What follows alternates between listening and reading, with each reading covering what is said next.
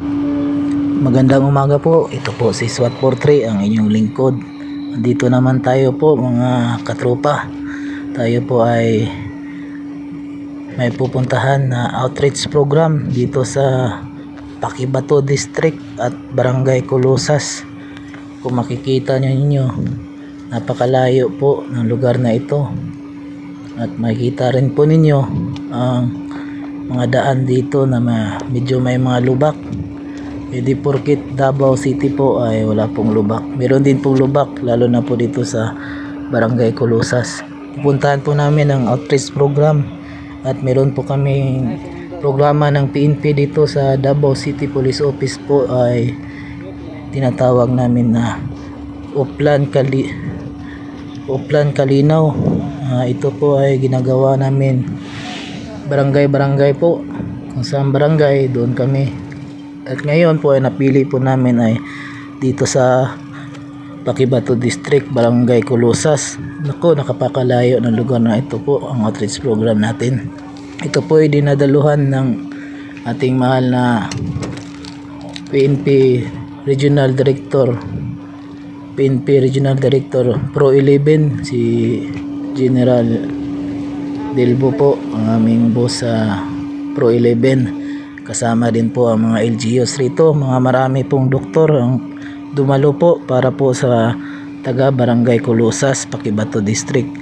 Para ma-reach out naman po natin sila ang kanilang rural area na it's actually hindi na po talaga matatawag na rural doon dahil marami ng bahay doon. Meron ng eskwelahan meron ng basketball court marami na. May church marami ng pagbabago doon sa lugar nila. At ngayon we were trying to reach out to all of them uh, mga taga doon na sa Kulusas po.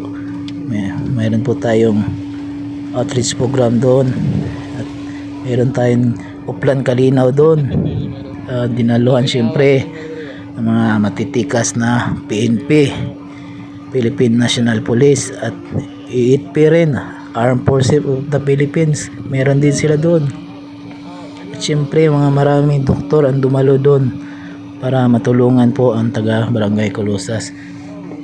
Makita niyo po ang daan dito talagang hindi pa masyadong develop ang daan rito. Mayroon pang marami pang lubak na area.